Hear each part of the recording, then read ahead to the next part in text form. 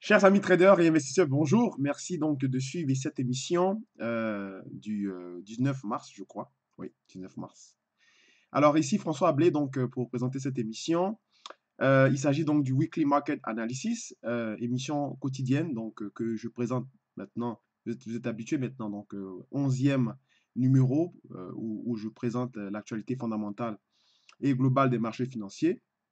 Donc, c'est un immense plaisir pour moi de présenter cette émission avec un petit peu de retard parce que, bon, je suivais euh, bien sûr euh, l'allocution donc euh, du représentant de la France concernant au, au, niveau de la Commission européenne concernant le l'accord juridique pour la séparation de la Grande-Bretagne de l'Union européenne. Donc, j'étais en train de suivre un peu pour voir qu'est-ce allaient bien sûr en parler concernant les points centraux de cet accord juridique, mais ça a été juste un survol, puisque euh, la personne qui parlait a dit, a laissé entendre que euh, c'est un premier pas vers, bien sûr, euh, cet accord et que les choses allaient être revisées au fur et à mesure. Voilà. Donc, il n'y a pas eu vraiment de, de grandes choses. Mais vous allez, le constater tout, à l'heure, le marché a, payé donc cette nouvelle sur le GBP-USD parce que c'est quand même une progression depuis maintenant près de deux ans, deux ans et demi de, de négociations. Donc, il ne s'agit que d'un accord juridique. Hein. donc, pour le moment, rien n'a été encore ficelé, mais c'est un grand pas. Alors, euh, bien sûr, donc, euh, je suis François Ablé, pour ceux qui viennent de me découvrir. Je suis responsable donc, de la structure GSTA que vous connaissez maintenant et que vous appréciez. Euh, Global Structured Academy, donc, est une corporation éducative et informative également en ligne, qui, dont le but est d'apprendre les traders particuliers à réussir sur les marchés financiers grâce euh, au, soutien pédagogique, à l'encadrement sur mesure que nous vous offrons, bien sûr, qui a commencé. Les inscriptions ont commencé à partir du, ont commencé depuis le 15 mars. J'en avais parlé dans, les vidéos précédentes. Donc, euh, si vous êtes intéressé, euh, n'hésitez pas, bien sûr, à venir vers nous ou à ma, personne, donc au niveau de mon Facebook, qui est François Ablé, donc sur Facebook, ou le GSTA Global Structured Academy sur Messenger ou bien sur Facebook. Nous sommes aussi disponibles à travers notre chaîne YouTube voilà, qui est donc du même, euh, logo, donc GSTA Global Structured Academy, ou alors notre site web qui est le www.gstacademy.com. Voilà. Alors, on va passer donc euh, à l'avertissement lié au risque pour présenter cette émission. Donc, comme vous le savez, le trading euh, est une activité risquée, c'est une activité également à capital variable. Voilà pourquoi je ne suis pas personnellement enthousiaste sur cette, cette idée de pouvoir vivre uniquement que du trading. C'est une activité qui doit être utilisée dans, dans, dans la mesure du possible comme euh, une sorte de revenu intermédiaire et non pas un revenu définitif. Et il faut savoir manipuler les, les outils, il faut savoir manipuler les produits dérivés que nous, dont nous faisons usage dans euh, notre activité, notamment les options, les CFD, les ETF, euh, les marchés futurs. Et puis, donc, il faudrait songer à, si c'est quelque chose qui vous intéresse, à vous faire encadrer, à vous faire briefer de tous les risques qui comportent cette activité et également euh, des personnes qui doivent vous, euh, qui peuvent vous supporter, à savoir prendre des positions là où il faut, au moment où il faut, savoir gérer votre portefeuille. C'est ce que, en fait, euh, au niveau des gestes, nous nous atteignons à faire. Donc, si ça vous intéresse, encore une fois de plus, n'hésitez pas à venir vers nous. Voilà. Donc, vous avez, j'imagine, vous avez pris connaissance de cet avertissement lié au risque. Alors, Weekly Market Analysis 11, donc c'est la 11e édition.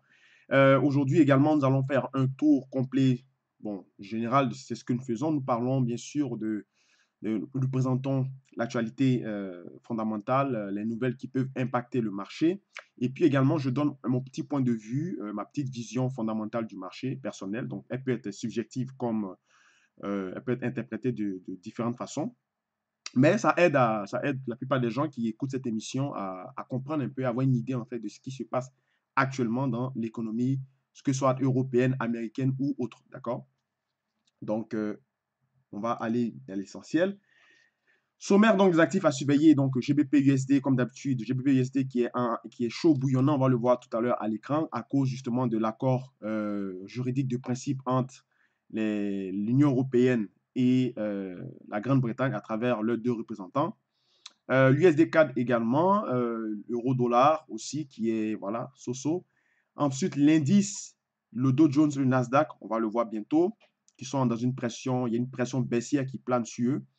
L'or, le cuivre, le pétrole, le gaz naturel aussi sont un peu, tergiversent un peu à cause de la récente progression du, du, dollar, due aux spéculations faites sur, bien sûr, une possible hausse des taux, une très possible hausse des taux ce mercredi avec le rendez-vous des minutes de la Fed et qui sera donc, bien sûr présidé par Jérôme Powell. Donc, ça sera sa première, sa, première peut-être hausse des taux depuis le début de son mandat.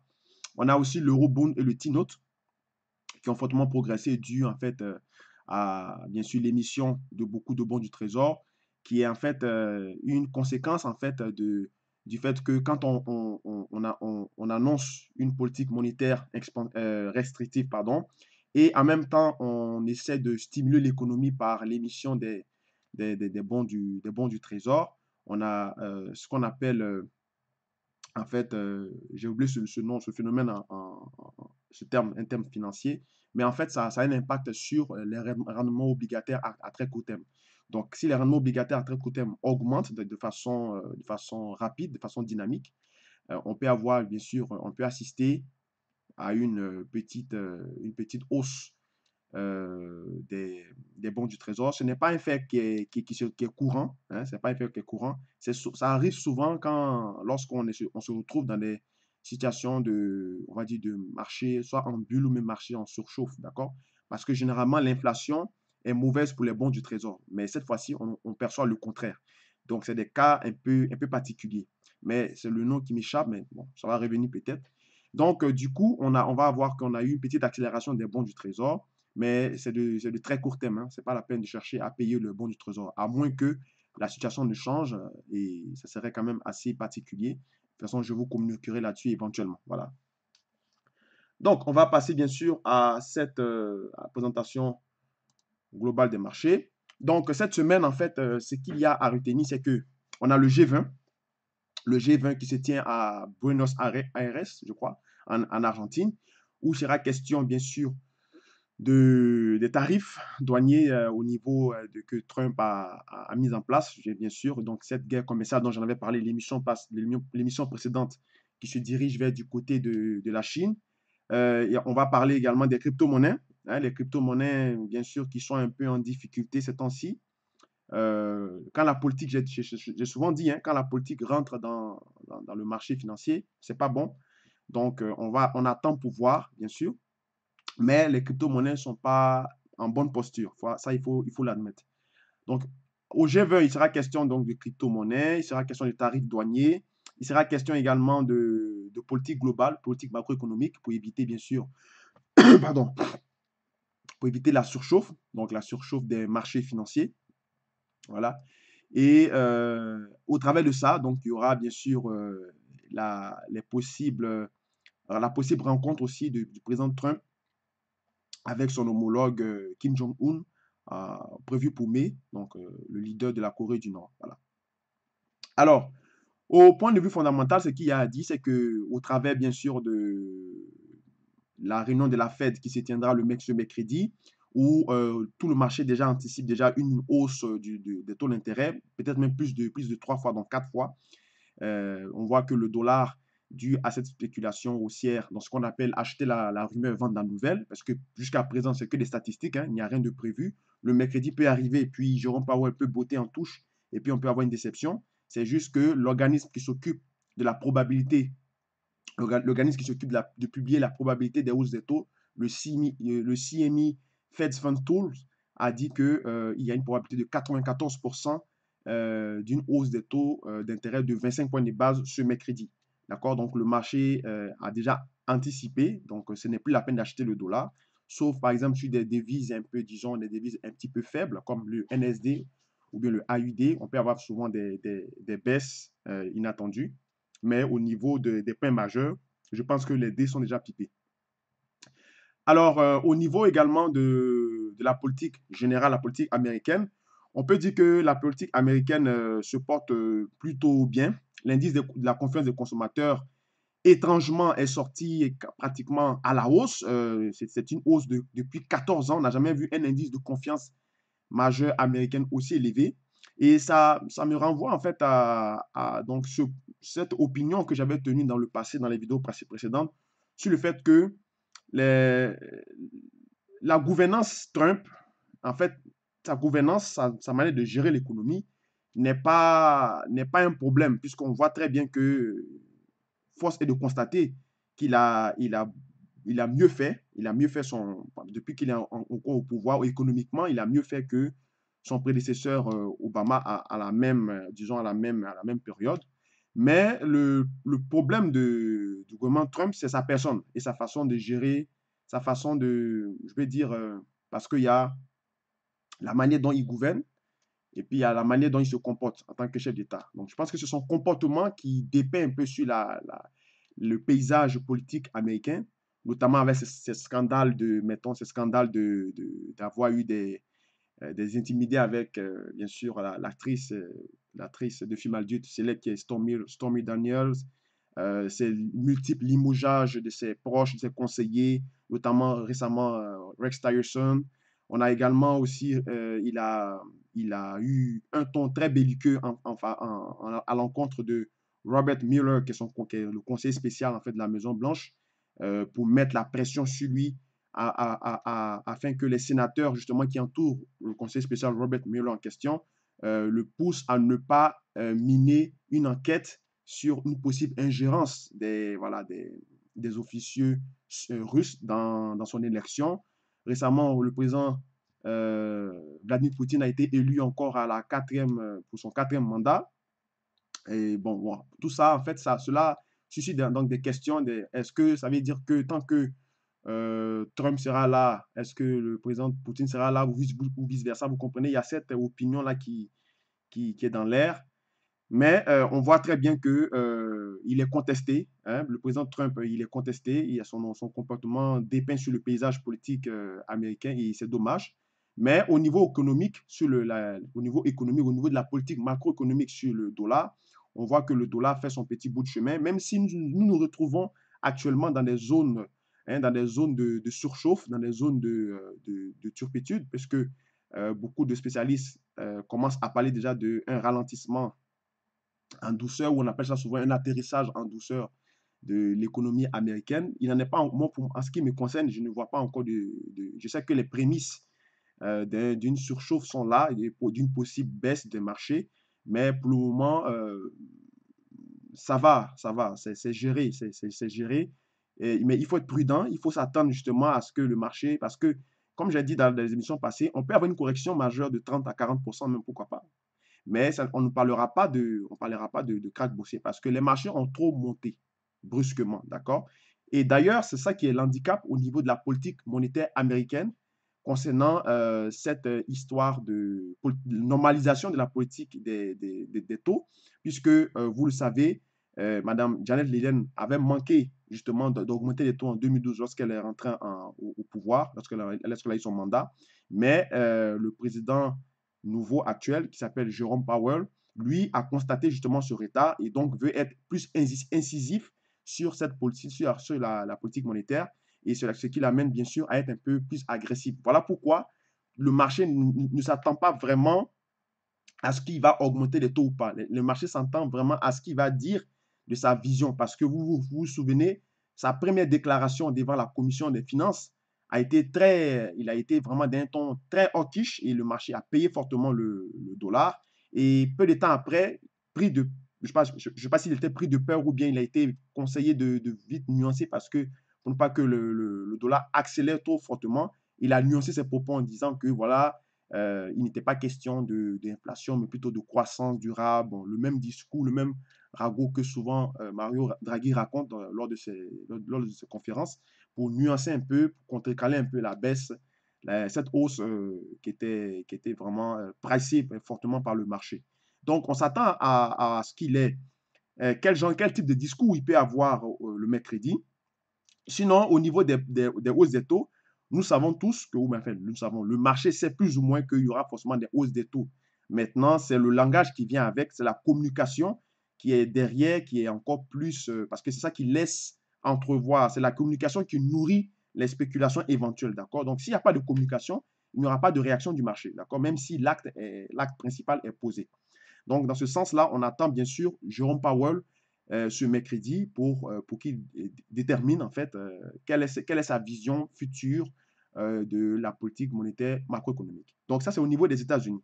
Donc États-Unis, faites attention, politique américaine, c'est-à-dire politique américaine, c'est-à-dire Trump, versus politique macroéconomique. Donc c'est deux choses, deux visions différentes.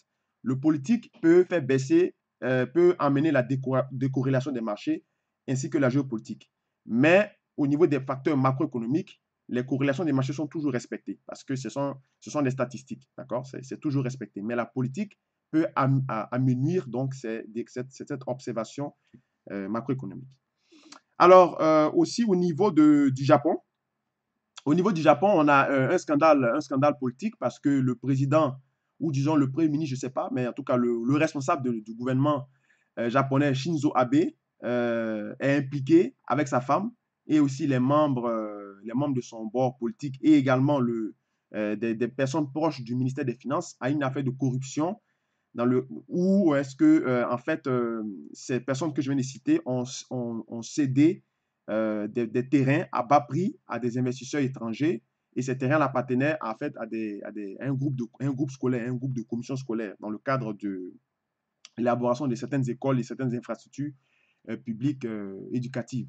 Donc, euh, ça a été un peu, c'était un scandale au, niveau du Japon. Voilà pourquoi vous avez vu que le Nikkei a baissé fortement. Mais comme euh, il s'agit en fait, euh, comme le Nikkei et puis le yen sont en, général inversement corrélés, donc quand le, yen, quand le Nikkei baisse, le yen en, général progresse, d'accord? C'est inversement corrélé.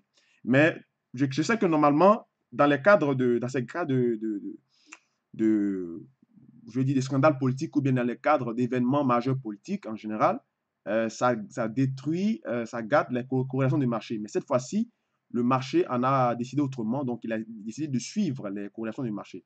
Donc du coup, c'est cette, atmosphère-là qui pèse sur, euh, le, Nikkei sur le Yen. Et puis, il faut noter aussi que, en général, tout ce qui concerne en fait les politiques macroéconomiques ou bien tout ce qui concerne la banque centrale, tout ce qui concerne la, en fait, la macroéconomie en général, c'est plutôt, euh, ça agit beaucoup plus sur l'Europe, les États-Unis et le Japon. La Grande-Bretagne en général, et puis les autres paires, comme le, dollar CAD, le NSD, le AUD, euh, c'est moins, moins, de moins en moins influencé, d'accord? C'est vraiment les leaders du marché, c'est-à-dire ceux qui pratiquent les, les politiques conventionnelles ou les politiques non conventionnelles concernant les QI, les QQI et, et consorts, d'accord? Donc, ces trois, ces trois pays comme le, Japon, l'Europe et les États-Unis, ces trois pays-là en général euh, l'Europe, c'est-à-dire l'Union européenne, et puis les États-Unis et le Japon. Donc, ces trois, ces trois groupes-là euh, sont considérés comme des leaders du marché, d'accord? Donc, euh, du coup, la macroéconomique est plus influencée dans leur eux, eux plutôt que les autres, les autres, les autres, les autres pairs ou les autres pays d'enfants, comme le Canada et puis, et puis l'Australie, d'accord? Donc, il y a ce facteur-là et bien sûr, on attend bien sûr une réaction, euh, du coup, euh, un communiqué pour démentir cette affaire, mais c'est éclaté au grand jour. Donc, voilà pourquoi les indices majeurs euh, japonais ont chuté, d'accord, pendant que le yen a un petit peu progressé. Au niveau de la Chine, donc dans le cadre bien sûr de cette trade war, donc entre, guillemets, le, le, président de la Chine qui s'appelle Xi Jinping, je crois, il a, euh, il a nommé euh, l'économiste Yi Gang. Yi Gang est en fait un adepte de la, des réformes de marché, donc c'est un économiste ultra-libéral. Euh, il a participé, il est un des artisans majeurs, bien sûr, de, de la croissance fulgurante qu'il y a eu en Chine depuis, depuis maintenant deux décennies, d'accord? Il a été nommé maintenant au poste de, de, président de la Banque centrale chinoise, donc le Public Bank of China c'est lui maintenant qui est le, nouveau euh, homme fort économique du Japon. Donc, euh, ce, ce, monsieur, Yi Gang, est, en fait, euh, il maîtrise la, la, politique, économique américaine, puisque lui-même, il a été formé aux États-Unis, à l'université de, je crois, de Chicago, dans l'Illinois. il a été docteur là-bas en économie, donc il connaît bien l'environnement économique euh, aux États-Unis. Donc voilà pourquoi il était, il était mis euh, à, la Public, Public Bank of China pour contrecarrer un peu les politiques du président, les, éventuelles politiques du président euh, Donald Trump qui sont dirigées, qui sont orientées contre l'État chinois. D'accord? Donc c'est ce qu'il y a, c'est ce qu'il faut retenir au niveau, fondamentales pour cette semaine. À part ça, il n'y a pas vraiment grande chose. On peut le voir bien sûr dans le calendrier économique. Comme je vous ai dit, euh, si je l'affiche ici par semaine, on le voit ici, hein, le G20, donc euh, en, noté fortement. Donc, euh, au niveau de ce lundi, si je mets par semaine, on peut voir un, un bref aperçu de la semaine. Donc, G20, IPC, IPC au niveau de la Grande-Bretagne qui est attendu en recul. Voilà.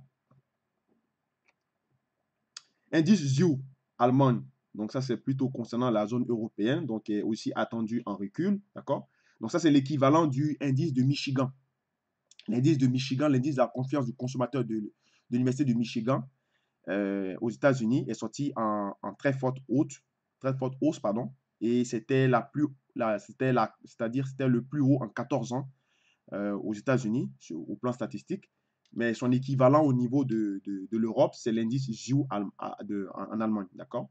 Lui, il est attendu également en, recul, d'accord? Pour le mois de mars, hein. Donc, il y a ce, cet indice-là. Le mercredi, bien sûr, on a les minutes de la Fed, voilà. De la Fed. On a également, euh, les, stocks bruts du, pétrole.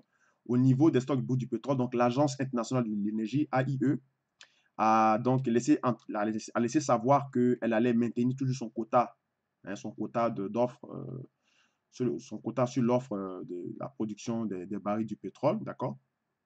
Donc cela a boosté encore un petit peu, a soutenu à très court terme et même à moyen terme, on peut dire, la, hausse, du, euh, la hausse du pétrole. D'accord? Donc, euh, on va voir les, stocks qui seront publiés justement le mercredi seront un petit peu déterminants parce que jusqu'à présent, il n'y a pas eu vraiment de facteurs majeurs fondamentaux à part, le, à part se communiquer. Donc, ça peut bien sûr venir contrecarrer un peu la possible vision à long terme sur le pétrole parce que vous savez que quand le pétrole est élevé, au niveau des forages ou le niveau des gaz euh, de schiste américains, euh, ils augmentent donc leur production pour pouvoir bien sûr bénéficier de cette, euh, de, cette, de cette, en fait, cette hausse, cette hausse à court terme des, des, prix du baril du pétrole. Et s'ils le font, si les, les, les, puits ou les forages, les puits de forage continuent à augmenter, ça va justement faire baisser les, prix. D'accord? Voilà pourquoi ils maintiennent juste un seuil. Donc voilà pourquoi il faut suivre attentivement donc, la publication des stocks hebdomadaires qui est attendu à 5 millions, 5 millions 22 ou 5022. Okay? 5022 cas, c'est une manière de réécrire 5 millions 22 euh, euh, au niveau de la quantité de, de barils. D'accord? Alors, euh, le jeudi, euh, jeudi, il n'y a pas vraiment... Bon, ça, c'est en fait le, les leaders justement de l'Union européenne vont se retrouver du côté de Bruxelles, donc en Belgique, pour discuter bien sûr de l'accord juridique dont j'ai évoqué en début de, l'émission sur euh, la séparation possible de, la Grande-Bretagne et de l'Union européenne, donc soft Brexit ou hard Brexit. Ensuite, on a le taux de chômage au niveau de l'Australie, le permis manufacturier au niveau de, du Nikkei, donc ça c'est fait, ça c'est pour le, jeudi. Après ça, il n'y a pas vraiment de... il y a la décision aussi il, y a, un super, super Thursday ce jeudi au niveau de la, de la Banque, euh, banque d'Angleterre, au niveau de la décision des, des, des hausses ou, ou, non de la, des taux d'intérêt en Angleterre. C'est attendu à rester euh, stable, donc à, à 0,5% de, de point de base. Donc, a priori, il ne devrait pas avoir de changement. Donc, voilà pourquoi cette, euh, cette croissance, cette hausse euh, qui, survient actuellement, comme on va le voir sur le graphe, sur le GBP-USD, est uniquement à cause, bien sûr, de, la négociation du deal entre l'Europe et la Grande-Bretagne au niveau de leur divorce. D'accord? On va le voir, puisque hier, quand j'avais tracé mes graphiques, puisque je trace les graphiques en général chaque dimanche, euh, lorsque je regardais, il n'y avait pas encore de décalage, puisque c'est ce matin que la, conférence avait lieu, donc j'étais en train de la suivre pour voir éventuellement ce qui allait se passer et on a vu une accélération euh, du, euh, GBP. Donc pour finir cette semaine, donc on a l'IPC au niveau du Japon. Donc si on va regarder du côté de CMC Market, a priori ça devrait être à peu près les mêmes les, les mêmes chiffres qui sont attendus. On a le, le, PPI, donc l'indice des prix à la production au niveau de la Grande-Bretagne, on a vu le, les prévisions économiques du ZIU, voilà, prévisions économiques ZIU au niveau de l'Allemagne. Donc ça, ça impacte aussi l'Union européenne hein, parce que le poumon de l'Europe, c'est bien sûr l'Allemagne en termes de production industrielle et, et de, en fait, d'agrégats économiques. Donc, on a vu ça. Euh, on a aussi la, une décision aussi des taux, des taux, euh, des taux monétaires, donc décision de, au niveau de la Nouvelle-Zélande. Donc le RBNZ, c'est le Royal Bank New Zealand, donc la Banque royale de la Nouvelle-Zélande, euh, table sur un maintien des, taux d'intérêt de 1,75%. Donc ça, c'est à surveiller. Et puis après ça, bon, il n'y a pas de, il donc, il a d'autre chose. Hein. donc c'est à peu près tout ce qu'il faut retenir pour euh, cette semaine-ci. Voilà. Donc, on va passer bien sûr au graphe. Donc, comme vous le voyez ici, toujours dans notre traditionnel graphe euh, hebdomadaire euh, du GBP-USD, on a vu que, on a, si j'ai agrandi, je vais, je vais déplacer également ma caméra, mon cadran. Voilà. Donc, comme vous le voyez ici à l'écran, on a bien sûr cassé cette oblique qui était ici, comme on va le voir en une heure dans nos horaires, dû au, au discours. Hier soir, quand j'avais tracé euh, bien sûr, euh, ces, niveaux, il n'y avait pas, il n'y avait pas ce, mouvement. Donc, c'est ce matin que ça a été fait. Disons que pendant que la, conférence était en train d'être d'être publique. Donc, euh, on a vu que, on voit que de long, de, sur le long terme, on reste bien sûr sur un mouvement, une figure haussière, d'accord? Parce que cette, cette ligne rouge ici n'a pas été bien sûr invalidée, c'est-à-dire que quand, on a la cassée, on, on ne l'a pas réintégrée pour l'invalider. Elle est toujours restée euh. Voilà pourquoi j'ai toujours maintenu ma position haussière sur le long terme au niveau du GBP USD et aussi dû également à souvent cette fébrilité que le dollar peut avoir. Ça peut donc pour, ça peut amener le GBP USD à progresser vers et à, poursuivre son mouvement qu'il avait dessiné auparavant. Donc c'est ce qu'on on voit ici. Si on repart en, en données euh, hebdomadaires, vous allez voir, vous voyez que euh, a cassé, hein, on, a, on a cassé violemment cette oblique horizontale depuis le, 25 janvier. Ensuite, on a aussi cassé cette ligne, euh, c'est-à-dire ce point stationnaire qui croise bien sûr la moyenne mobile et le niveau des prix euh, à partir du 27 février, on l'a, cassé. Donc, on a, priori, on est dans, un, dans une impulsion violente haussière, d'accord? Si on zoome de près, on, peut voir bien sûr un pullback ici sur, le point noir et puis une opportunité pour payer le GBP USD pour aller chercher les plus hauts en, rouge ici. Donc ça, c'est très bien, c'est une position à, surveiller.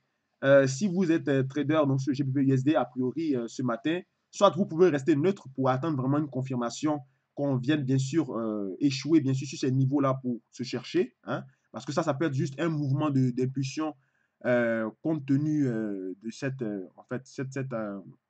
communication faite autour de l'accord juridique qui n'est pas officiel, c'est juste une, je, disons, une présentation du fait que les négociations avancent bien et qu'un accord est imminent, un accord est en cours, un accord de discussion sur la discussion est en cours, mais euh, rien n'est encore décidé. Donc, euh, si vous êtes encore sceptique en vue de payer le GBP USD, vous pouvez rester neutre. Hier, quand j'ai analysé le marché, je, je, je crois que j'ai opté pour une neutralité.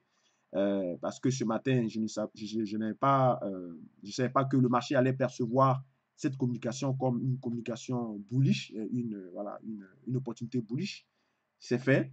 Donc, disons que ceux qui veulent rester prudents, c'est bien, parce que moi, je serais, pour le je serais neutre, j'attendrai vraiment de meilleurs signaux pour pouvoir entrer en position.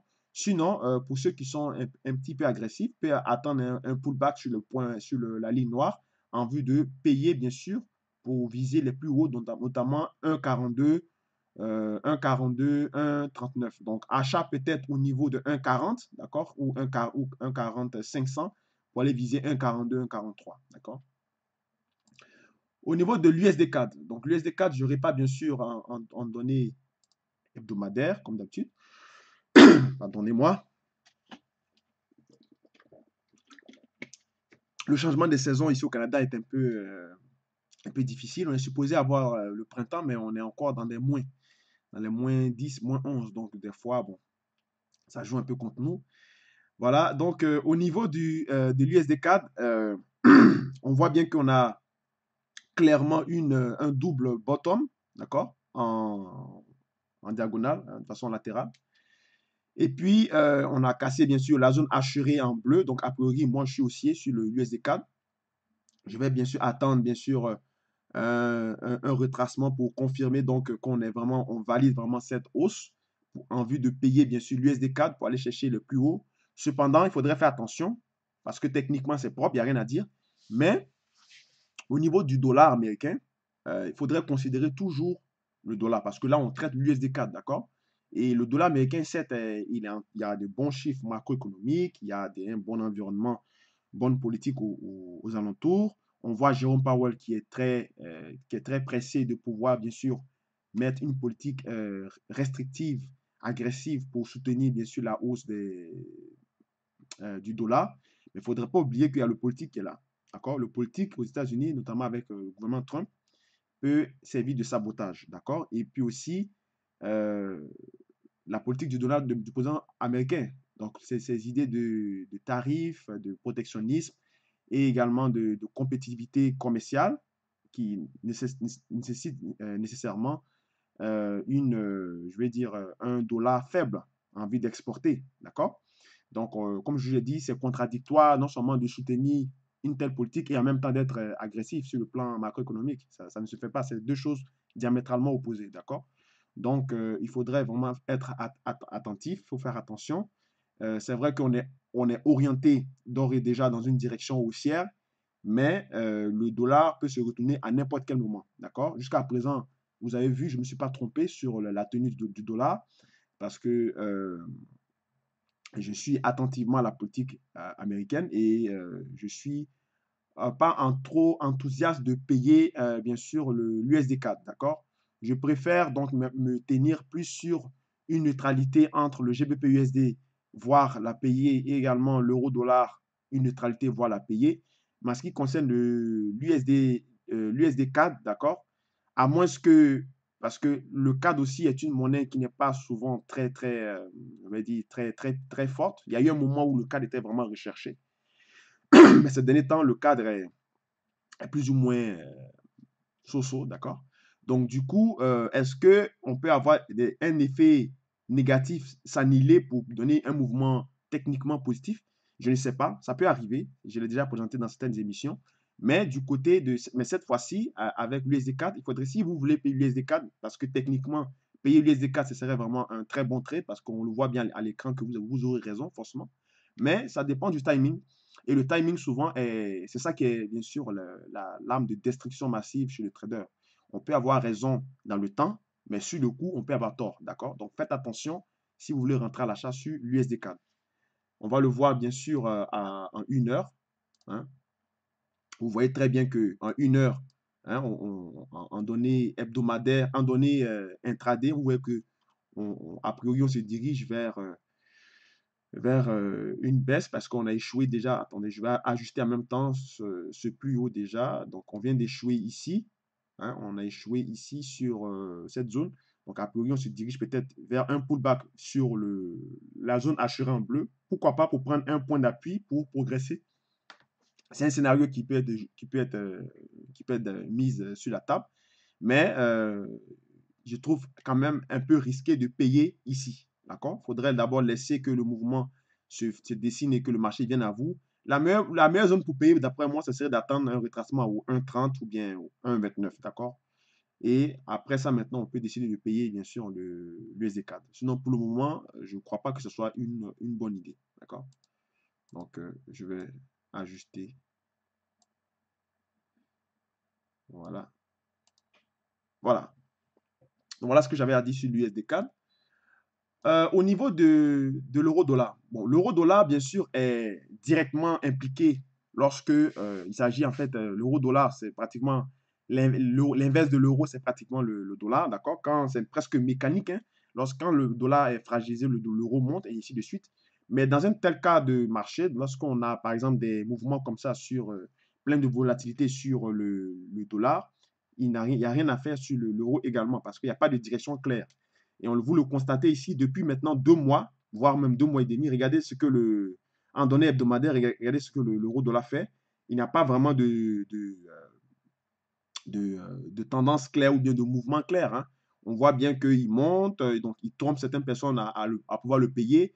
Lorsqu'il les paye, après ça, ils ont tort, il descend. Lorsqu'ils veulent le vendre, il remonte. D'accord? Donc, il joue comme ça avec les nerfs du marché. Donc, c'est important d'avoir une vision long terme. On voit bien qu'on est dans un range. Un range entre 1,25 et 1,21. D'accord? C'est un range set de 400 pips, mais c'est un range quand même. Parce que je vous avais dit plusieurs fois dans certaines vidéos que la distance entre la clôture mensuelle qui était de 1,21,840 et euh, les plus hauts historiques qui étaient de 1,25, pour moi, c'est une distance qui, n'est pas, peut-être qu'à l'échelle euh, euh, intraday, ça allait élevé, évidemment, puisque c'est 400 pièces quand même. Mais en termes de données, lorsqu'on prend du recul, en termes de données on voit que c'est à l'intérieur d'un triangle qui se compresse, d'accord? Donc, pour moi, il n'y avait rien à faire sur l'euro-dollar. Ceux qui sont scalpers, ils peuvent s'en sortir, c'est sûr. Mais ceux qui sont des intraday traders ou bien des, gens qui cherchent des opportunités swing comme moi, euh, sur, un tel marché, je n'ai rien à faire euh, là-dedans. D'accord? Si on repart bien sûr en, données horaires, on va voir que euh, vous voyez que si on, on rétrécit l'image, on voit très bien que c'est des montagnes russes. Hein, il n'y a pas de mouvement particulier qui se dessine. Là, on est en train de voir une petite accélération. Peut-être que parce que le dollar, puisque actuellement, pendant que j'enregistre cette émission, le dollar est en train de, voilà, ça bouge le dollar. Donc, on voit bien sûr des, petites impulsions. Donc, pour un scalper, c'est peut-être euh, un bon marché pour travailler, mais pour un, intraday trader ou bien un swing trader, euh, c'est un peu particulier pour pouvoir rentrer en position sur euh, un tel marché. Donc voilà ce que j'avais à dire sur l'euro-dollar. Voici mon observation. Au niveau de, de l'or, l'or c'est pratiquement pareil comme l'euro-dollar à quelques points près, même si l'or est guidé bien sûr par l'or est guidé bien sûr par des faits on va dire, des faits, euh, des faits géopolitiques, hein, des faits il y a aussi l'effet de saisonnalité, d'accord Parce que vous savez que statistiquement, euh, l'or, euh, je crois, l'or est, l'or est haussier hein, dans le mois de mai. Lorsqu'on a, par exemple, ce qu'on appelle le sell in May and go away, lorsque les indices corrigent fortement pendant cette période, en général, l'or a tendance à être un peu plus haussier, d'accord? Parce que les gens se diversifient vers l'or, ils, font un transfert de fonds pour acheter des valeurs refuges quand les indices corrigent un peu à cause des prises de bénéfices, d'accord, dû à cet événement boursier-là. Donc, certainement, on peut avoir, par, par, exemple, un statu quo sur le dollar, et euh, sur l'or, d'accord, et puis après avoir une grosse impulsion. C'est un scénario qui est possible. Hein. Ce n'est pas, pas nouveau. Ça, a été déjà, si vous regardez dans l'historique des données passées, vous allez voir que dans le mois de avril-mai, en général, l'or est souvent euh, haussier, d'accord? Donc, on peut avoir euh, une stabilisation, euh, une latéralisation de l'or au niveau de ses, plus, de ses plus bas mensuels, et puis après ça, une, grosse impulsion pour aller viser les plus hauts, d'accord? Sinon, pour l'instant, l'or a la même tenue que, que l'euro, d'accord? L'euro se cherche. Et quand, bien sûr, quand le dollar semble progresser à cause des politiques macroéconomiques, des politiques monétaires qui sont mises à son encontre, à son avantage, bien sûr, l'or réagit de façon négative, puisque l'or et le dollar sont inversement corrélés, d'accord? Ça, vous le savez. Donc, si on regarde, bien sûr, de plus près en termes horaires, vous allez voir que euh, on est en dessous des niveaux non seulement hebdomadaires, et en dessous également des niveaux mensuels, d'accord? Est-ce le meilleur moment pour payer l'or? Peut-être, je ne sais pas. Dans tous les cas, le moment, la ligne pour payer l'or est ici. Hein, je l'ai mise, je l'ai mis, je l'ai mis là. Attendez, je vais bien l'agrandir. Voilà. Voici le niveau pour payer l'or, c'est ici. Voilà. Donc, est-ce qu'on va latéraliser ici et puis venir s'effondrer là pour payer l'or aux alentours des 1300 D'accord? C'est possible. Hein? C'est possible. C'est un scénario qui est possible. Euh, dans la mesure où, quand, si le dollar reste fort, ça va soutenir donc ce scénario dont je viens d'évoquer. Et puis après ça, quand on inverse sur le dollar, c'est-à-dire quand le dollar maintenant commence à consolider, l'or maintenant commence à progresser. C'est possible. Pour le moment, je ne fais rien. Je suis neutre, tout comme l'euro-dollar. Je ne fais rien. Et je suis également attentivement la tenue, bien sûr, des, différents actifs qu'on vient de voir pour voir s'il y a un catalyseur. On attend la fête cette semaine, on attend la Banque d'Angleterre ce jeudi, et on attend également le, à l'issue du, G20. Donc, qu'est-ce qui va être évoqué là-bas Ça aussi, ça aura un impact, bien sûr, sur la tenue des cours, euh, des, cours euh, euh, des actifs financiers qu'on vient de, passer en revue. D'accord Donc, à suivre pour, l'euro, pour le, le dollar. Non, pour l'or. Voilà. Au niveau du, du pétrole brut, d'accord le, pétrole brut mondial, le UK Oil. Donc lui, en fait, euh, bien sûr, il est de long terme, on le voit bien qu'on est dans une figure, euh, dans, un biseau de rétrécissement ascendant. La sortie se fait généralement baissière, d'accord? Mais depuis un certain moment, il est, il est juste confiné à l'intérieur de... Si je prolonge, attendez, je vais prolonger cette figure un peu plus loin. Voilà. Voilà. Donc, à l'intérieur donc, de, ce, de, ce, de, ce, triangle de compression ascendant, il est, il est bien sûr euh, confiné. Il n'y a pas de mouvement euh, en particulier. Euh, en général, comment ça peut être interprété? Si on sort par le haut plutôt que par le bas, parce que statistiquement, on sort par le bas, d'accord? Mais si on sort par le haut, ça peut donc, ça peut donc expliquer une certaine, un certain retour, retour à la, à, à l'inflation, d'accord une, une, Et puis, il faudrait faire attention parce que une, euh, si on sort par le haut hein, d'une figure en, en, données hebdomadaires sur le pétrole, euh, le pétrole, c'est l'inflation. Hein, donc, euh, on peut avoir voilà, un choc inflationniste assez, assez inattendu, d'accord Donc, ça peut, donc, si on invalide cette figure, c'est ce que ça peut expliquer. Par contre, on peut justement jouer à l'intérieur de ce, de, cette, de ce biseau-là de contraction sans pour autant donner de, de, direction claire. En intraday, euh, si vous êtes trader sur le pétrole, bien sûr, les fondamentaux soutiennent euh, justement cette, une hausse du pétrole. Donc, vous pouvez aller chercher des petites, euh, des petites variations. Mais en termes de swing trading, en termes d'opportunités sur le long terme, ce n'est pas encore le moment de se positionner sur le pétrole. Donc, j'opte pour la neutralité, d'accord? Si on voit, si j'agrandis de, de, très près, on voit bien, très, on voit bien que voilà, il n'y a pas vraiment de, de distance euh, particulière. Hein. Euh, on voit bien qu'il y, y a comme une sorte de, compression dans une compression, d'accord? Si on repart bien sûr euh, en, en données horaires, vous voyez que en, en données horaires, ça, voilà, ça, ça donne ça. quoi. C'est vrai que là, on voit, on voit une, poursuite haussière du, du, pétrole, mais je peux dire l'opportunité acheteuse peut-être est peut-être ici. D'accord? À partir d'ici, si on peut, soit vous payer le, le, pétrole aux alentours des 66, 70 jusqu'à 67, 50. Après ça, vous prenez vos bénéfices pour un, un bon scalp. Après, ici également, au-dessus de 67, 50, on le paye jusqu'à 70. Pourquoi pas? Donc, euh, c'est pour ça que j'ai dit tout à l'heure que pour un trader intraday ou un trader scalping, oui, c'est pas un marché qui, sur lequel il peut travailler. Mais pour un, un quelqu'un qui fait du swing trading, des opportunités de long terme, ou bien du day trading sur le pétrole, c'est difficile de travailler euh, dans cette, cette, euh, avec cette, euh, cette comment je peux dire, ce genre de scénario, hein, ce genre de setup là, vous voyez.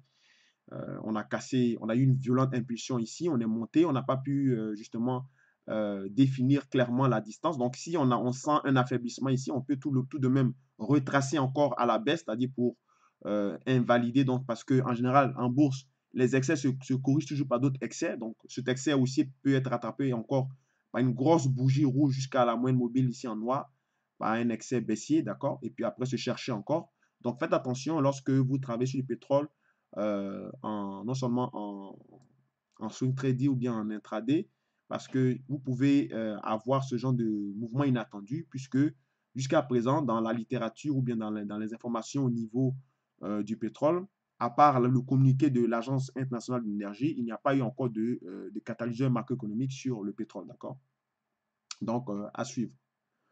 Le cuivre, euh, je ne sais même pas si ça vaut la peine de, le couvrir parce qu'en général, il offre, il, démontre vraiment des... C'est un marché qui est très difficile à, transiger. Il ne montre pas vraiment de, vraiment de, de, niveau particulier, d'accord? Si Ça, c'est en données horaires. Hein. Si on va en, en termes de semaine, euh, il, avait il semblait vouloir casser hein, l'oblique vers ici pour bien sûr euh, repartir dans un nouveau mouvement, dans un, dans un nouveau momentum baissier, compte tenu du fait que le dollar se renforçait. Mais c'est un marché qui est quand même assez particulier. Il est, ses fondamentaux prennent source au niveau de la Chine, d'accord Et au niveau de aussi l'Australie. Donc pour le moment, euh, a, je, n'ai pas d'observation particulière sur le, cuivre. en intraday, bien sûr, c'est un, produit, bien sûr, qui, on va dire, qui est facile à travailler sur les, les futurs, d'accord? Au niveau des CFD, je vous déconseille fortement de, de vous abstenir. Euh, seulement dans un plan, dans un plan disons, euh, de long terme que vous pouvez travailler sur le cuivre. Mais actuellement, il n'y a pas de, vraiment de, de setup pour prendre des positions sur le long terme sur le cuivre, sinon je l'aurais communiqué, bien sûr. D'accord? Donc, euh, il n'y a rien à dire sur le, le. Voilà, tout simplement.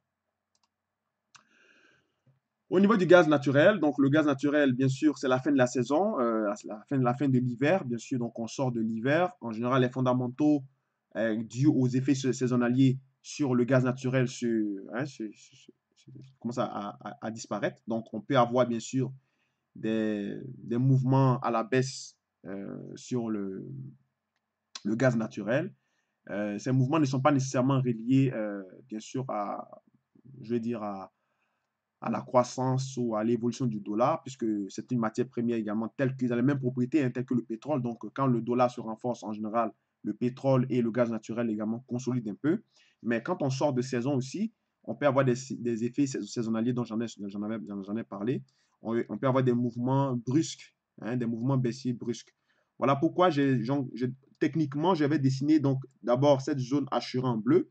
Et puis également cette euh, ligne de démarcation mauve que, vous voyez ici à l'écran, euh, qui en fait euh, qui est confondue avec cette zone hachurée en bleu. Donc tant, qu'on va rester dans, dans cet espace ici, je vous disais depuis le début qu'il n'y avait rien à faire, même si le biais était vraiment baissier, mais il n'y avait rien à faire parce que moi, quand je travaille, je veux vraiment qu'on sorte vraiment de certains niveaux assez difficiles à trader. C'est plus facile pour trader, d'accord? C'est pratiquement sûr qu'au moins à 80% que votre position va aller dans votre sens.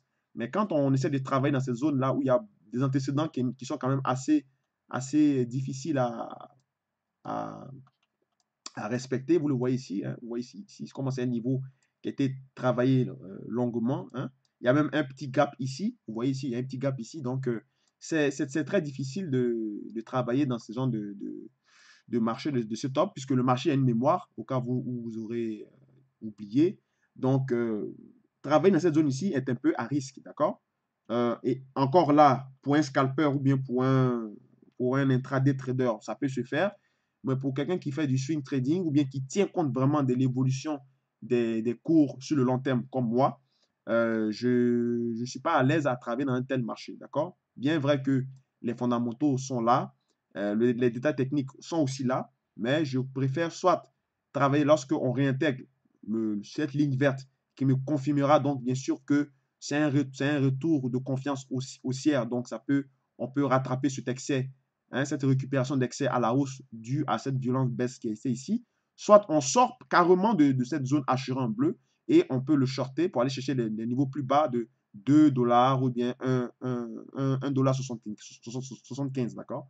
Sinon, pour le moment, euh, au niveau du, euh, de, l'évolution même du gaz naturel, hein, on, est bien sûr dans une zone, euh, on va dire, dans une zone d'incertitude, dans une zone, on va dire, neutre, d'accord? Il n'y a vraiment pas grand-chose à faire, même si on a des soubresauts baissiers.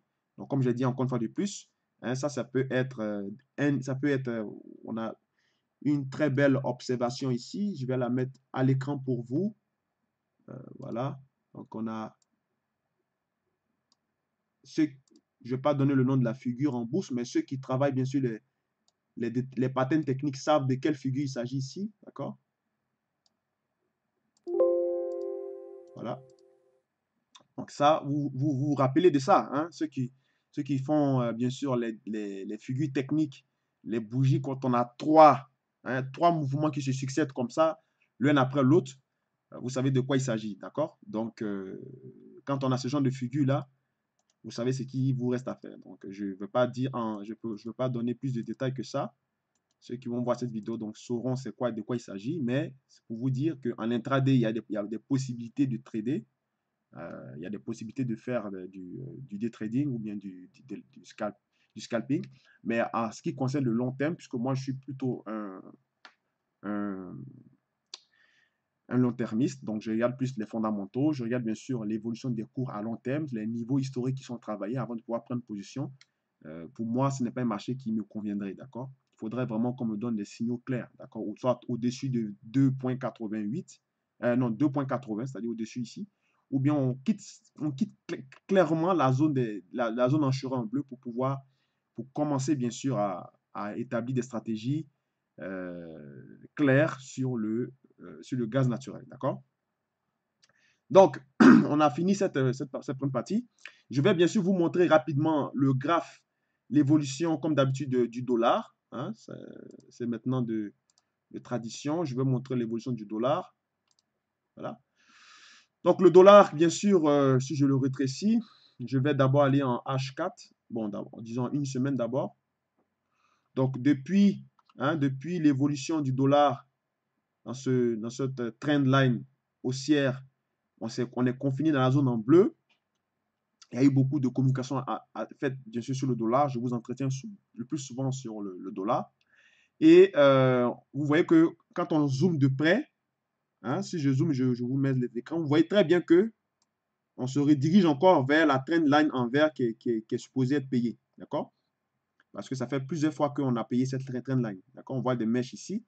Et puis, euh, arrive donc euh, la, la, Fed. la Fed va tenir, bien sûr, un communiqué bientôt, le mercredi. Donc, on va voir l'issue de ce communiqué. Voilà pourquoi je, vous ai dit que même si la Fed dit nous augmentons les taux de 25 points de base tel que prévu, il n'y aura pas de réaction, d'accord? Mais c'est le langage, encore une fois de plus, c'est le langage, la communication que Jérôme Powell fera au, sujet de cette hausse qui va être déterminant pour le cours du dollar. Sinon, pour le moment, euh, la spéculation, les dés sont déjà faits, c'est déjà pipi. On sait déjà que 94% du marché, d'après le CMI, que le dollar va être relevé de 25 points de base. Donc, le marché a déjà acheté ça, d'accord? On va le voir en intraday.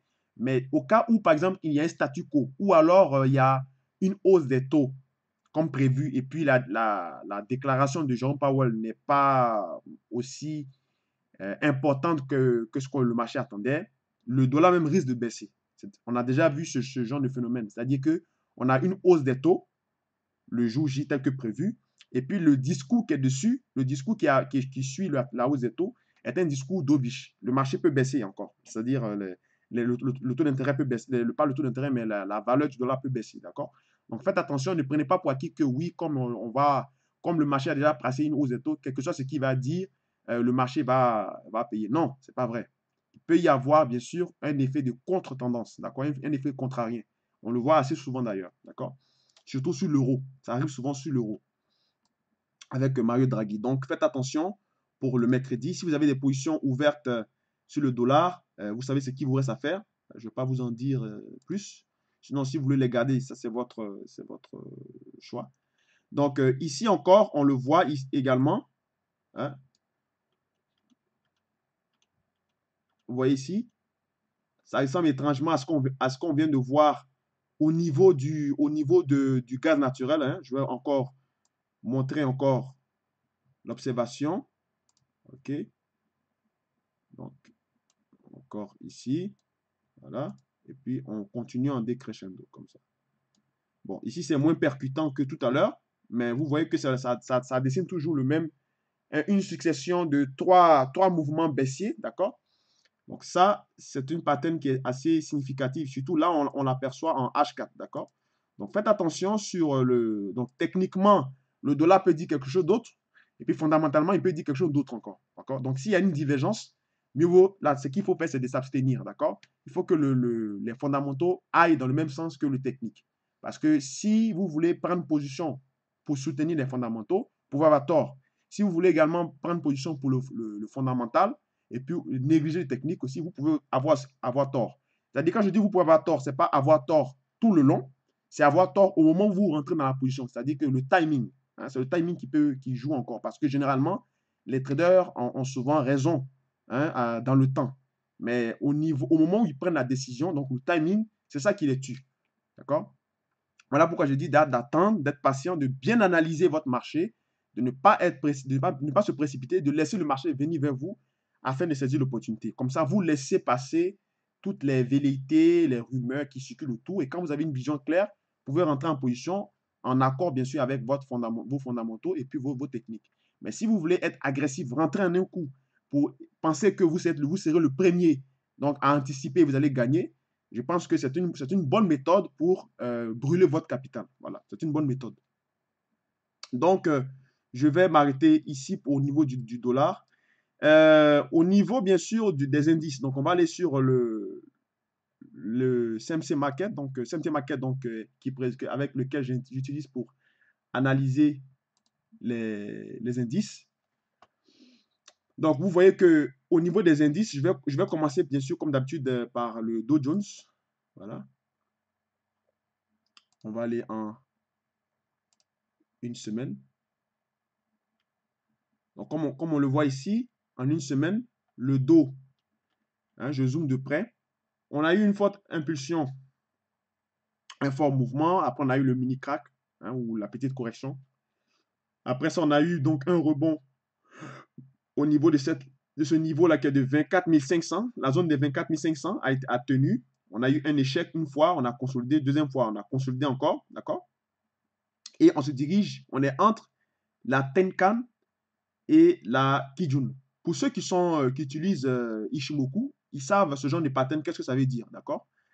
Entre quand, on, quand on, le marché euh, échoue sur des niveaux et qu'on arrive au niveau d'une compression, d'un squeeze, Hein, entre le, le, la Tenkan et la Kijun, ceux qui font l'Ishimoku savent de quel, de quel euh, ce, genre d'observation, de, euh, qu'est-ce que ça veut dire en fait? Parce que regardez bien l'allure, regardez bien l'allure de la Tenkan, vous voyez qu'il y a un plat, et puis l'allure également de, de, la Kijun également, il y a un autre plat qui, qui se dessine. Donc quand on est entre ce, ce, ce squeeze, souvent les, les traders euh, de les traders ce genre d'observation, on peut le voir également sur les bandes de Bollinger. C'est ça, les bandes de Bollinger. Et puis également sur euh, l'Ishimoku. Donc, on appelle ça un short squeeze. D'accord? Donc, quand on est dans, ce genre de, de pattern-là, si on a bien sûr des échecs dans ce niveau, il peut y avoir souvent des violents mouvements baissiers qui peuvent arriver. C'est ce qu'on appelle un short, un short squeeze. Donc, faites attention. Vous voyez qu'on a échoué une fois, deux fois et on est en données hebdomadaires. Donc, ce n'est pas un petit niveau. 25 500, définitivement, n'est pas un petit niveau sur le Dow Jones, d'accord? Et ça, c'est la même chose que ce soit sur le Dow, sur également, on va voir bientôt sur le, S&P, et puis également sur le Nasdaq, parce que les trois sont souvent, euh, sont souvent se suivent souvent. Donc, on a bien sûr un niveau qui risque bien sûr de, euh, baisser. Ça peut également aller dans, le même sens. Hein. J'ai tendance, à, tendance euh, à, vouloir peut-être confirmer pardon, que ça peut aller dans le même sens que le fait que euh, ça peut coïncider au fait que le mercredi, quand on va avoir bien sûr la déclaration de Jerome Powell concernant la politique monétaire et son point de vue sur la, politique américaine, si euh, bien sûr il a un ton incisif sur euh, sa communication au niveau de la hausse des taux d'intérêt, ça va mettre la pression, une grosse pression baissière sur les, sur les indices majeurs américains. D'accord? Donc, voilà pourquoi j'attends. Je suis patient. J'attends vraiment que le fondamental suive le, ce, pattern technique pour maintenant me positionner à la baisse tranquillement, d'accord? Je n'ai pas de, pression là-dessus. Donc, je vais aller, bien sûr, en données horaires pour, pour voir. Vous voyez ici, en données horaires. Donc, encore, hein, encore, ce qu'on avait remarqué au niveau du gaz naturel, au niveau du dollar américain, on le remarque encore sur les indices. Hein, je vais l'entourer encore. Vous voyez Une fois, deux fois, trois fois. D'accord? Successivement. Peut-être même encore la quatrième fois. OK? D'accord? Donc, mouvement en décrescendo. Donc, ça veut dire quoi? Ça veut dire ce que ça veut dire? Voilà.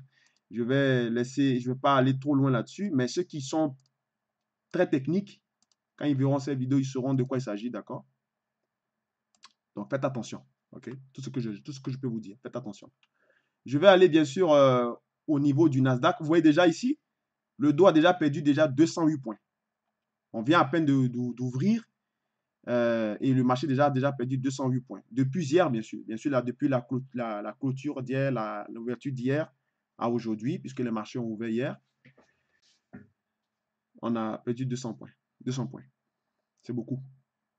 Donc, si je vais au niveau du Nasdaq, d'accord? Au niveau du Nasdaq, Nasdaq, est, son cousin, c'est bien sûr le dos.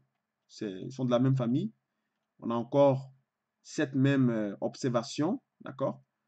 On a bien sûr un mouvement de, hausse, une violente baisse qui a été récupérée ici par des algos, bien sûr. Quand vous voyez des mèches comme ça, ça c'est des algos qui, font, qui font ça. On est remonté. On semble avoir fait ce qu'on appelle une, un dark cloud, donc une, couverture en nuage noir. Ça, c'est pas, c'est pas propre de le dire, mais ça ressemble à ça, d'accord? C'est-à-dire une longue mèche qui, qui, dépasse un fort mouvement haussier. Et puis après ça, on a après un, un petit corps comme ça qui ressemble un peu à une toupie, d'accord? Donc, du coup, ce genre de pattern-là, ce sont des patterns baissiers, mais ce n'est pas encore, ce n'est pas encore le moment de, confirmer ça. Il y aura d'autres facteurs pour confirmer, mais ça ressemble à ça, d'accord? Si je vais bien sûr en, en donner en, journalier, on le voit également, même constat, hausse, violente baisse. La hausse n'était pas aussi prononcée que la hausse dernière, donc on a encore un mouvement baissier qui, qui s'annonce. Donc, ça semble, on semble voir un essoufflement, d'accord? D'un point de vue purement technique, hein, rien, de, spécial. Donc, il va falloir attendre l'observation, euh, disons, l'observation euh, fondamentaliste, d'accord pour pouvoir euh, confirmer qu'on est vraiment enclenché, on a enclenché un mouvement baissier, d'accord Donc, si je, on a fini avec, bien sûr, le, le dos, on a fini également avec le Nasdaq, donc même, euh, même observation. Si je répare du, point de vue du, S&P 500, vous voyez le S&P 500 aussi, c'est, disons, à peu près la même chose. Hein. Donc, je reviens ici. Donc, vous voyez que dans le S&P 500, nous avons bien sûr euh, un échec ici aux alentours des 2785. On a également un mouvement baissier qui, annonce. Mais vous, vous regardez encore, regardez encore au niveau, si vous ouvrez bien les yeux, je vais encore zoomer. Regardez encore au niveau du la Tenkan. Vous voyez ici la Tenkan, il y a un plat ici. Et la Kijun, il y a encore un plat. D'accord? Short squeeze. Donc là encore, il faudrait faire attention. Si je vais également au niveau du H4, D'accord? Donc, on voit encore dans le H4 qu'on est vraiment le nuage qui semblait être un nuage haussier. D'accord? Puisque la, SSA était en vert, la SSB qui est en rouge semble se converger pour, pour avoir un croisement. D'accord? Donc, je ne vais pas en dire plus. Ceux qui sont bons dans Ishimoku savent de quoi je parle, puisque moi-même j'apprends Ishimoku, hein, je ne suis pas un expert, mais le peu que je, que le, peu que je, je connaisse m'indique que on semble se diriger vers des mouvements baissiers. D'accord? Maintenant, il faut attendre que euh, le, le, fondamental, bien sûr, pas dans la même lignée que ce qu'on vient voir, les observations que je viens de vous montrer au niveau, de, au niveau, des, au niveau technique. D'accord? Pour pouvoir, bien sûr, prendre des positions sans stress, à l'aise sur les marchés financiers. D'accord? Donc, c'est ce que j'avais à vous dire au niveau des indices. On va finir, bien sûr, avec l'euro-bond. D'accord? Donc, l'euro-bond, compte tenu du fait qu'on a eu, bien sûr, le, le, rendement obligataire euh, de, de la, du Bund a commencé à progresser. On a eu une accélération. En, H4, on a eu une accélération. On est, on arrivé dans la zone bleue, je vous avais dit. Pour prendre une position, il faut attendre qu'on sorte soit de la zone bleue. Donc, on, on se situe au-dessus de la zone en gris ici, au-dessus là. Ou alors, on repasse en dessous de la zone en bleu pour pouvoir prendre des positions, soit à la baisse. Vous avez vu qu'on est arrivé ici où il y a la zone euh, en gris ici, la ligne grise, et puis dans la zone bleue, on a échoué, on semble se diriger encore vers un mouvement baissier. Ici, il n'y a rien à faire. Hein. Ici, il n'y a rien à faire. La zone en bleu, il n'y a rien à faire. Si on repart en, données, euh, en données de long terme, vous allez voir qu'il n'y a pratiquement euh, rien à faire. Même si en intraday, ceux qui sont sur les études les futurs, ils ont eu de bons mouvements à prendre. Mais pour ceux qui sont sur les CFD et qui veulent prendre des, positions sur la dette, donc le boom, faudra attendre qu'on sorte d'ici. Il hein. faut attendre qu'on sorte d'ici pour pouvoir profiter de cette eau ici, ce qu'on appelle euh, un vacuum zone, d'accord? Ou alors, on qu'on attende que le marché corrige pour venir jusqu'en en dessous. On peut prendre une position là ou bien là. Et puis après on, prend les, bénéfices et on le paye, d'accord? On paye ici l'eurobond, puisque sur le long terme, euh, la dette européenne, donc la, BCE, est prête à réduire, voire éliminer, euh, son, d'arrêter son programme de rachat d'actifs, d'accord? Dont l'extension a été faite jusqu'en septembre 2018. Cependant, ça peut, ça peut être poursuivi. Hein. Ils ont laissé entrevoir, ils ont laissé savoir qu'ils peuvent continuer encore de soutenir l'économie. D'accord? Donc, on peut attendre qu'on baisse jusqu'ici et puis après de repayer encore, hein, de repayer le, le pour aller justement euh, poursuivre euh, des mouvements à venir. Ce qui est sûr dans dans le, dans le, dans l'évolution du temps, celui qui est pressenti rentrer à, pour, euh, à la BCE pour succéder Mario Draghi est supposé quelqu'un qui n'aime pas beaucoup les politiques, euh, les politiques non conventionnelles. D'accord? Donc, euh, pour le moment, on ne sait pas c'est qui, mais il, y a des, il y a des bruits autour de la personne qui, qui va être choisie. Donc, si j'entends bien sûr des, des bruits assez qui confirment vraiment la personne dont je pense, je vais bien sûr communiquer là-dessus. Donc, restez à l'écoute. Mais sinon, pour l'instant, il n'y a pas vraiment, il n'y a rien à faire sur, euh, sur l'évolution du, sur l'évolution du, euh, de, de. En tout cas, pas sur les CFD, d'accord? Seulement sur les, sur les marchés futurs. On peut travailler tranquillement là-dessus. Alors, pour finir, donc, on va aller, bien sûr, voir euh, le T-Note, le T-Note qui est là. Voilà. Même constat, hein, petit note, même constat, euh, c'est la neutralité. la neutralité. Dans cette zone ici, il n'y a rien à faire. Je m'attendais à payer le T-Note aux alentours de 120, donc ici. Depuis, depuis je ne sais pas combien de temps, depuis au moins pratiquement euh, un mois et demi, il est confiné sur cette ligne en gris ici parce qu'il n'y a pas de communication qui est faite au niveau, au niveau, du, au niveau de la, du T-Note. Le T-Note, si vous ne savez pas, c'est le, le, le, produit obligataire le plus liquide aux États-Unis. D'accord? En termes euh, d'investissement obligataire, le T-Note 10 ans, il est le plus, le plus liquide, d'accord, dans le, sur le marché américain. Le plus lourd, c'est bien sûr le T-Bond, à échéance 30 ans, d'accord? Et, le T-Note est fortement influencé, ainsi que le T-Bond, au niveau des rendements obligataires, soit en Europe et également aux États-Unis. Pour le moment, il n'y a pas eu de, juste, il n'y a pas eu de, on va dire, il y a eu une impression d'obligation encore, ça a été injecté dans, dans la liquide, comme liquidité dans l'économie, donc, on peut avoir à très court terme euh, un soutien, un soutien de, T-bond et puis également, en même temps, un soutien également de, sur le dollar. Le dollar peut être recherché pour ça, mais ça, c'est des cas extrêmement rares, comme j'en ai dit. C'est le nom qui m'échappe. Mais euh, jusqu'à présent, vous voyez que on n'a pas eu encore de, de mouvement haussier. On voit bien que on tente de pouvoir repartir vers le haut. Parce que ici, quand on regarde sur l'écran, ici, il n'y a pas d'obstacle pour que le marché puisse échouer pour rebaisser. On est vraiment dirigé définitivement à repartir vers le haut. Mais il n'y a pas encore eu de signaux clairs. Donc, il faudrait encore être patient, il faudrait attendre. Encore, donc là, ici encore, il est question encore de timing. D'accord? Le bon timing, pour moi, ce n'est pas encore le cas. J'attends j'attendrai toujours. Sinon, si on regarde également en, en 4 heures, vous voyez qu'en 4 heures, c'est vraiment, voilà, c'est des conneries, quoi. Vous voyez, c'est baisse, montée, baisse, zigzag, d'accord? En futur, il n'y a rien à faire là. Vous allez vous faire plumer par, voilà, vous, savez. Mais en, euh, pardon, pas en futur, en CFD. En futur, ce serait très bien de travailler là. Hein, on, délimite, une zone comme ça. Hein, on met la zone des... On sait que là, ça, je prends un croissant. On sait que là, ça serait une zone, la zone potentiellement des, shorts, d'accord des, des vendeurs, ils vont ici. Et puis ici, ce serait la zone des acheteurs. Donc, on peut jouer entre ces deux zones-là, parce que ça, c'est un range, d'accord Mais en CFD, on ne peut pas travailler comme ça. Donc, mieux vaut s'abstenir. Voilà. Donc, voilà ce que j'avais à dire là-dessus, sur les marchés. On va maintenant, bien sûr, passer au récapitulatif. Hein. Alors, récapitulatif donc, de cette semaine, je vais bien sûr mettre ma caméra ici. Donc, euh, sur le Forex, le GBP USD.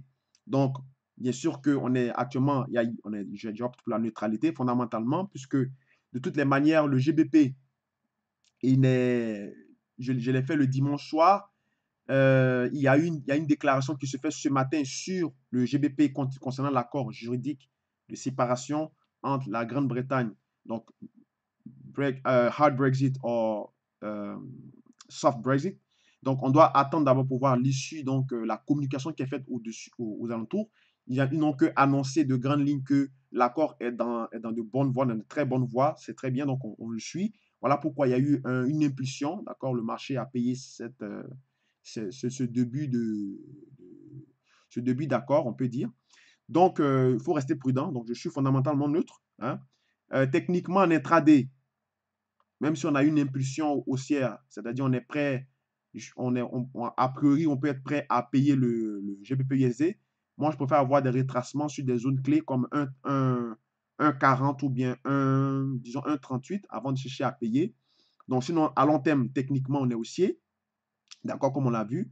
En intraday aussi, on peut être aussi porté à, aller à la hausse, mais moi, je serais plutôt prudent. Voilà pourquoi j'ai mis technique intraday neutre.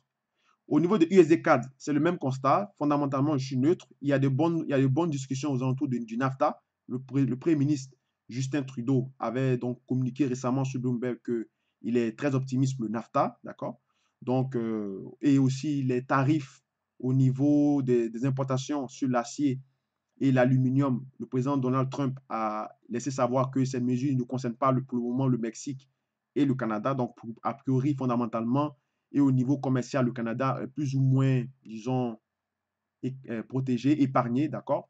Donc ça, ça peut justement, on peut avoir des, petites impulsions haussières en intraday, voilà, à court terme, même si on voit bien sûr, on a vu la correction, le niveau que j'avais mis en rouge, et puis je l'ai dit de laisser venir euh, laisser euh, le marché corriger pour, venir sur la zone assurée en bleu qui correspond aux alentours de 1,30, 1,29 avant de pouvoir payer éventuellement l'USD4 puisqu'on voit que en daily, on a un double bottom, d'accord, que j'ai mis, le double bottom en, latéral, là, latéral, façon latérale.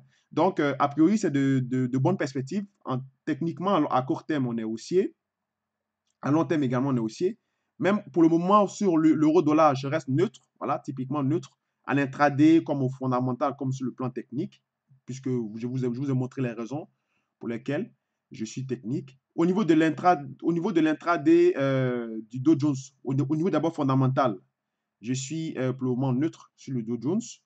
J'ai des prémices baissières, qui, j'ai un biais baissier, d'accord, à court terme et également sur, euh, sur l'évolution générale des indices, d'accord. C'est même constat avec le Nasdaq, parce que si le S&P est dans la même configuration qu'on a vu, en général, il y aura peut-être, il y aura certainement un, effet contagion sur le Nasdaq et le, le Dow Jones, d'accord? Donc, le baromètre du marché, c'est le S&P. Et on retrouve la même configuration qu'on a vu sur le, le, S&P et on a vu également ça sur le Dow et également sur le Nasdaq, d'accord? Là, pourquoi ma vision sur les indices a changé depuis maintenant, euh, depuis 10 jours. Maintenant, je, plus, je suis en train de regarder plus pour voir des scénarios. J'opte plus pour des scénarios euh, baissiers. Ça ne veut pas dire que il ne peut pas avoir de, de, hausse. Il peut y avoir des hausses, d'accord? Ce n'est pas moi qui fais le marché. Mais euh, je, privilégie, je privilégierai plus des scénarios à la baisse qu'à la hausse, d'accord? L'or, l'or est neutre, comme, tout comme l'euro. en général, ils, sont, ils se suivent. Euh, techniquement, euh, à court terme, c'est baissier, on l'a vu. Le pétrole, fondamentalement, c'est haussier à cause de la, du fait du soutien, hein, du soutien de, du, quota sur la production, l'offre de la production du pétrole. Euh, à court terme, c'est techniquement, je crois que c'est neutre, même si fondamentalement c'est haussier. Et puis à long terme aussi, on a vu que la, le, le, le biseau de contraction, le biseau ascendant de contraction, de rétrécissement ascendant est une figure généralement, généralement baissière, même si on voit que le marché semble justement rester sur le même niveau et puis ne, fait rien. Voilà pourquoi j'ai dit que techniquement, c'est neutre à, long terme, voire baissier, d'accord? En intraday, on peut bien sûr euh, aller là-dedans et puis essayer de prendre des positions. Le cuivre, j'ai rien à dire là-dessus. Le gaz naturel également, c'est la neutralité partout. Le Bund, c'est pareil, donc euh, fondamentalement neutre, techniquement neutre, long terme également neutre, il n'y avait rien à faire là-dessus. Il faut qu'on sorte bien sûr de la zone, euh, en bleu. Et au niveau des petits neutres, fondamentalement neutre, voire haussier. Et puis techniquement à, court terme et à long terme, c'est neutre. On a vu qu'on est bien vraiment sur la ligne grise et on attend que bien sûr le marché puisse euh, décoller pour avoir vraiment des signaux haussiers de court terme. Donc, ainsi s'achève donc euh, cette émission, euh, encore aujourd'hui, euh, cette émission du 19 mars. J'ai été très content de présenter cette émission. Je, crois que vous avez appris certainement beaucoup de choses, puisque je vois dans les commentaires, je vois bien sûr que les gens apprécient beaucoup mes points de, marché. C'est très intéressant et c'est très gentil de votre part. Je me sens vraiment valorisé à vous présenter cette émission. pour ceux qui sont bien sûr intéressés à vous former à se former en bourse, au trading. Les formations ont commencé depuis, bon, les inscriptions ont commencé depuis le 15 mars, d'accord? Donc, si vous êtes éventuellement intéressé, n'hésitez pas, n'hésitez pas à revenir vers moi pour, euh, pour qu'on discute, sûr, de votre encadrement, parce qu'il s'agit d'un encadrement personnalisé, d'accord? Je ne suis pas fan des grands groupes, donc je prends bien sûr des petits groupes qui sont en général entre, disons, entre 20 et 30 personnes maximum. Même 30, ça, ça, va dépendre, je ne suis pas trop sûr. Disons entre 20 et 25. Et puis, ben, nous travaillons les marchés, nous faisons des, nous avons bien sûr des, des, sessions théoriques, après des sessions pratiques. Donc, je prends des positions devant vous à l'écran, bien sûr, et vous êtes capable de dupliquer en même temps si vous souhaitez ou pas. Mais c'est pour que vous appreniez plus et que vous, ça vous, ça vous amène bien sûr à être bien sûr à l'aise sur les marchés financiers.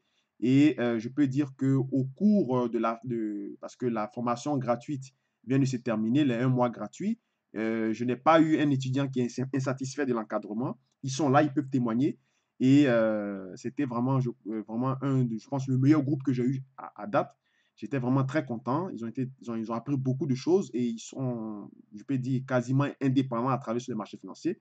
Donc, si vous souhaitez être euh, parmi ces, personnes-là qui ont bénéficié, certes, ont eu un peu, plus de chance parce qu'elles sont, arrivées dans le cadre de formation gratuite, mais ne vous inquiétez pas, euh, il faudrait vous former en, bourse. Et puis aussi, si vous voulez également un genre d'encadrement gratuit également, ce serait bien sûr, la prochaine session, ce sera pour juillet, juillet, août. Je vais communiquer là-dessus. Mais euh, c'est sûr qu'en un mois, on ne couvre pas tout ce qu'on va couvrir en quatre mois. Mais en un mois, c'est intensif. Vous allez à l'essentiel, mais vous devez travailler beaucoup les marchés. Pour que ça marche, c'est que vous devez travailler beaucoup les marchés. Moi, je vous donne des pistes, d'accord, pour vous aider. Mais la, formation, bien sûr, de, quatre mois est complète. Je, partage tous mes secrets. Je ne, fais pas de, retenue. Je donne tout ce que je sais sur les marchés financiers. Et vous êtes assisté de A à Z, d'accord? Quand vous prenez les positions, je suis avec vous, je tiens votre main jusqu'à ce que vous commencez à décoller de votre propre ailes. D'accord? Je m'arrête là pour aujourd'hui. Merci encore d'avoir euh, suivi cette émission. Euh, passez une très belle semaine et puis ben, on se retrouve pour les prochaines émissions. Voilà, au revoir.